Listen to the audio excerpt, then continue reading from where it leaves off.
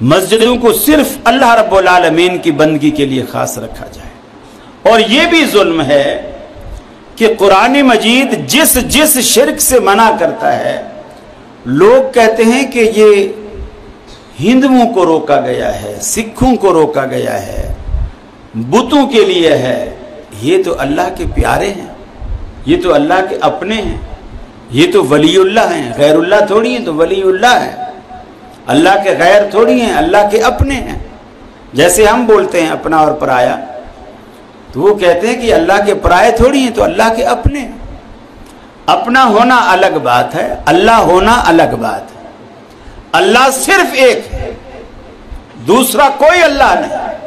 نہ اس کی کوئی مثال ہے، نہ کوئی تمثیل ہے، نہ کوئی تشبیح ہے۔ اللہ رب العالمین کے ساتھ ایک ہے۔ اب یہ کہنا کہ ہندوؤں کو روکا گیا ہے، مسلمانوں کو نہیں روکا گیا۔ قرآن مجید اتنا واضح لفظوں میں کہتا ہے۔ فرمایا، ان الذين تدعون من دون الله عباد امثالكم جن کی تم بندگی کرتے ہو، جن کو تم پکارتے ہو، وہ تمہارے جیسے بندے ہیں۔ عباد امثالکم۔ وہ بندے ہیں تمہارے جیسے۔ اللہ رب العالمین بتوں کو ہمارے جیسا قرار نہیں دے رہا۔ عباد امثالکم۔ بندے ہیں تمہارے جیسے۔ وہی جنہیں آپ اپنا بزرگ مانتے ہیں۔ زندہ تھے تو کھاتے تھے، پیتے تھے، چلتے تھے، پھرتے تھے۔ دنیا سے رخصت ہو گئے تو ساری کی ساری صلاحیتیں ان کی معوف ہو گئیں۔ آنکھ نے دیکھنا چھوڑ دیا، زبان نے بولنا چھوڑ دیا، کان نے سننا چھوڑ دیا، ہاتھ نے پکڑنا چھوڑ دیا، پاؤں نے چلنا چھوڑ دیا۔ آپ دنیا میں بڑے سے بڑے بزرگ کا نام نہیں بتا سکتے۔ جو مرنے کے بعد غسل کے لیے غسل خانے میں خود گیا ہو۔ بڑے سے بڑے بزرگ آپ نہیں بتا سکتے کہ مرنے کے بعد کپڑا مارکیٹ میں کفن خریدنے خود گیا ہو۔ بڑے سے بڑے بزرگ آپ نہیں بتا سکتے غسل کے بعد، کفن کے بعد، جنازے کے بعد قبرستان تک جانے کے لیے مجمع کے آگے آگے چل رہا ہو نہیں، بلکہ اللہ نے ایسا نظام رکھا آپ کے کندھوں پر اسے سوار کر دیا اور پوری دنیا کو بتا دیا کہ دیکھو، یہ قبر تک جانے کے لیے بھی تمہارے سہارے اور تمہارے کندھوں کا محتاج ہے۔ کل کو تم اسے سب کچھ کرنے والا نہ سمجھ لینا، یہ بالکل محتاج ہے۔ فرمایا، یا ایوہ الناس ضرب مثل فاستمعوا له. اے کائنات کے لوگوں رب العالمین تمہارے سامنے ایک مثال بیان کرتا ہے۔ اسے کان لگا کر سنو، پوری توجہ سے سنو۔ ان کی بے بسی کا حال قرآن مجید کی زبانی سنو۔ ان الذين تدعون من دون الله لن يخلقوا ذبابا. جن کو تم اللہ کے سوا پکارتے ہو، وہ اتنے بے بس، اتنے مجبور ہیں کہ وہ ایک حقیر سی مکھی بھی پیدا نہیں کر سکتے۔ تم ان سے اولادیں مانگتے ہو، کاروبار میں نفع مانگتے ہو، تجارتوں میں نفع مانگتے ہو، کامیابیاں مانگتے ہو۔ نرینا اولاد مانگتے ہو۔ کیا کچھ تم ان سے روزیاں مانگتے ہو؟ مشرق کی عقل ماری گئی، مشرق کی عقل زندہ رب کو چھوڑ کر مردوں سے مانگتا ہے۔ مردوں سے کہتا ہے کہ مجھے زندہ رب سے ملوا دیجیے۔ زندہ رب سے نہیں مانگتا جو ڈائریکٹ سننے والا ہے۔ کوئی وسیلے کے بغیر، واسطے کے بغیر فرمایا ذبابا. یہ اس قدر کمزور ہیں کہ ایک مکھی بھی نہیں بنا سکتے۔ مکھی تو بڑے دور کی بات ہے۔ وَإِن يَسْلُبُهُمُ الذُّبَابُ شَيْئًا لَن يَسْتَنقِذُوهُ مِنْهُ اگر مکھی ان کی غذا میں سے ایک چھوٹا سا ذرا اٹھا کر اڑ جائے یہ مکھی سے وہ ذرا بھی غذا کا واپس لینے کی طاقت نہیں رکھتے۔ ضعف الطالب والمطلوب، لینے والا بھی، مانگنے والا بھی۔ اور جس سے مکھی، جس سے چینا جا رہا ہے، وہ بھی دونوں کمزور ہیں۔ دنیا میں رب العالمین کو چھوڑ کر غیر اللہ سے مانگنے والا وہ بھی کمزور ہے جس سے مانگا جا رہا ہے، وہ بھی کمزور ہے۔ ہندوؤں کا شرک نہیں ہے، بلکہ فرمایا، وہی میں بات پھر عرض کروں گا، کوئی فرق نہیں اس شرک میں۔ صرف سیدھا کھڑا کر کے پکارنا اور عبادت کرنا ہے، اور دوسرا لٹا کر کے پکارنا اور عبادت کرنا ہے۔ سیدھے اور آڑے کا فرق ہے، اور کوئی فرق نہیں۔ کیونکہ اللہ کا قرآن کہتا عباد النمثالکم ہمارے جیسے بندے بت نہیں ہو سکتے۔ ہم انسان ہیں، بت پتھر کے ہوتے ہیں، لکڑی کے ہوتے ہیں، میٹل کے ہوتے ہیں۔ وہ انسانوں کے مشابہ نہیں ہو سکتے۔ اللہ رب العالمین نے انسانوں کی مثل قرار دیا۔ ان بزرگوں کے سوا اور کوئی نہیں۔ فرمایا، وہ اتنے کمزور ہیں کہ کچھ بھی نہیں کر سکتے، مکھی تو بنا بنا نہیں سکتے۔ مکھی سے کوئی چیز واپس چھین بھی نہیں سکتے۔ کسی نے کیا پیاری بات کہی؟ اے خالی کی کل، اے مالی کی کل، اے رازی کی کل، اے حاکم کل۔ سبحان ہے تو، رحمان ہے تو۔ تیری صفتیں کوئی بھی پا نہ سکا۔ ہر شے پہ تصرف ہے تیرا۔ جب حکم دیا تب می برسا۔ اے مالک، ابر سے تیرے سوا ایک بوند بھی کوئی گرا نہ سکا۔ اے خالی کی کل، اے مالک کی کل، اے رازی کی کل، اے حاکم کل۔ سبحان ہے تو، رحمان ہے تو۔ تیری صفتیں کوئی بھی پا نہ سکا۔ تو جس کو ڈبونے پر آئے، پھر کس کی ہے طاقت پار کرے؟ محبوب تیرا مجبور رہا، کشتی میں پسر کو بٹھا نہ سکا۔ اے خالق کل، اے مالک کی کل، اے رازی کی کل، اے حاکم کل۔ سبحان ہے تو، رحمان ہے تو، تیری صفتیں کوئی بھی پا نہ سکا۔ خالق وہ نہیں جس سے کہ کبھی بن سکتی نہیں، ایک مکھی بھی۔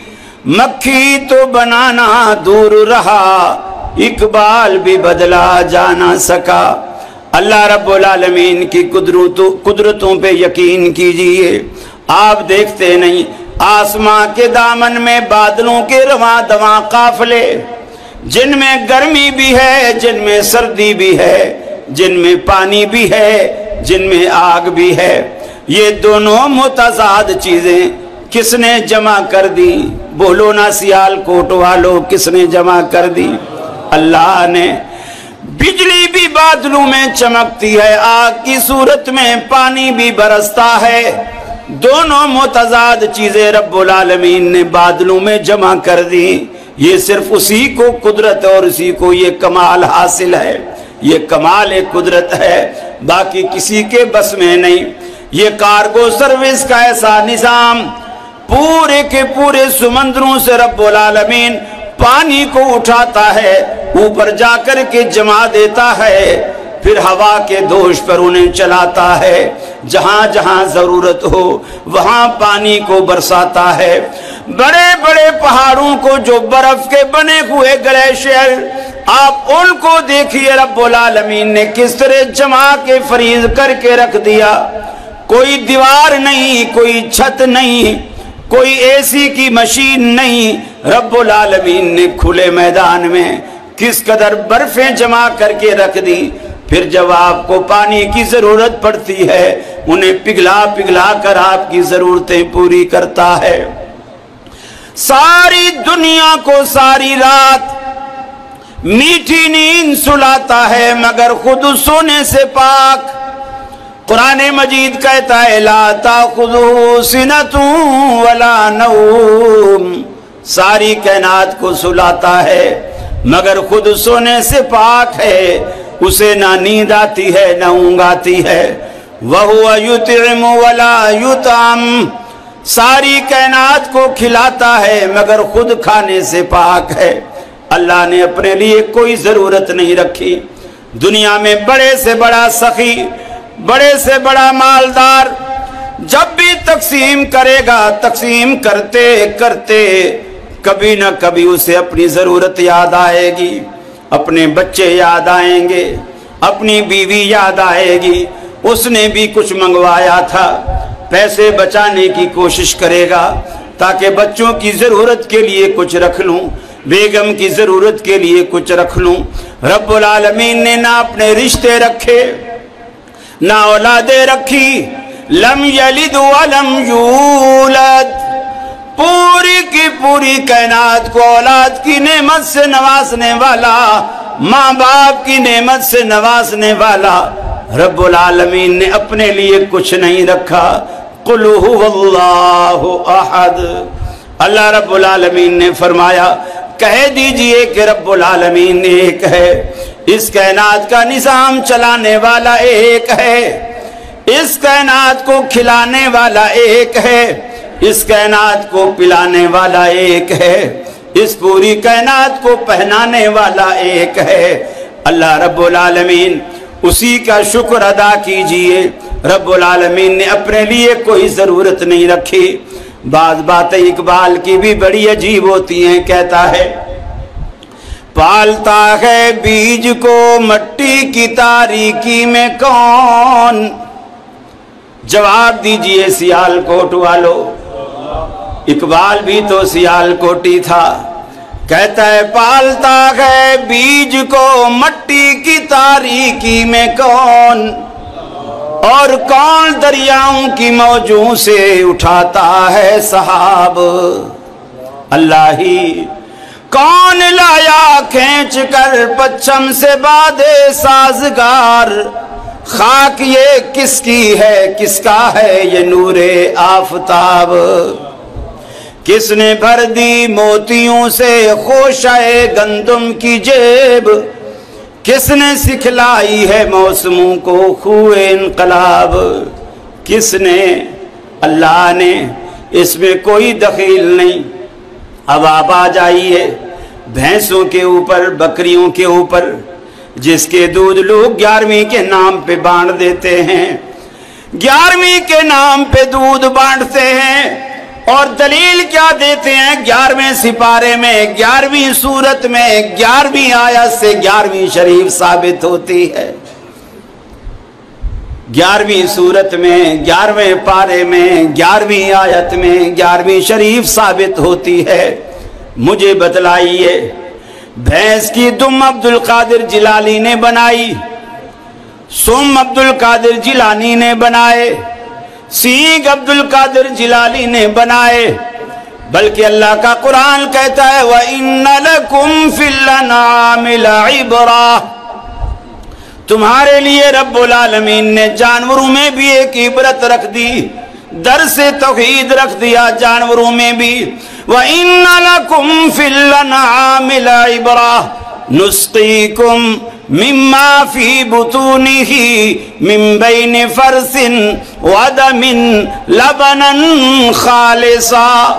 ارے تم دیکھتے نہیں ہو تمہاری بھینس کی رنگت کالی۔ اس کے چارے کی رنگت منفی، خون کی رنگت منفی، پیشاب کی رنگت منفی۔ ساری منفی چیزوں میں سے تمہارے ظرف میں آنے والے دودھ کو فرمایا لبنن خالصا کون ہے جو اس دودھ میں خون کی سرخی کو بھی شامل نہیں ہونے دیتا؟ پیشاب کی پلاہٹ کو بھی شامل نہیں ہونے دیتا۔ گوبر کی بدبو کو بھی شامل نہیں ہونے دیتا۔ ممبئی نے فرسن وَدَمٍ لَبَنًا خَالِصًا ہرا چارہ کھانے والی بھینس، کالی رنگت رکھنے والی بھینس، اسی چارے سے خون سرخ بنتا ہے، پیشاب پیلا بنتا ہے، دودھ سفید اور شفاف بنتا ہے۔ اللہ نے اس کے اندر ایسی فیکٹری لگا دی، ایسا فلٹریشن کا نظام لگا دیا۔ پیر عبد القادر جیلانی نے اس میں سے کیا لگایا؟ پہلی رات بھی رب العالمین نے بنائی، دوسری، تیسری، چوتھی، پانچویں، چھٹی، ساری راتیں رب العالمین نے بنائی، گیارہویں اور بارہویں بھی رب العالمین نے بنائی۔ پھر جب بھی بانٹو رب العالمین کے نام پر، فرمایا ہے مسلمان، تیری ٹیبل پہ رکھا ہوا دودھ کا گلاس بھی در سے توحید ہے۔ دودھ کا گلاس در سے توحید ہے۔ اسے اٹھا کر پینے سے پہلے اتنا تو سوچ لے، ضمیر سے پوچھ لے، کہاں سے آیا، کس نے بھیجا؟ اتنا بھی تو غور کرے گا تو یہ دودھ کا گلاس بھی تیرے لیے در سے توحید ثابت ہوگا۔ اسی لیے فرمایا، سوچ تو صحیح، ان لکم فی الانعام العبرہ۔ اسی لیے اللہ کہتا ہے، اولائک کل انعام بل ہم ازل۔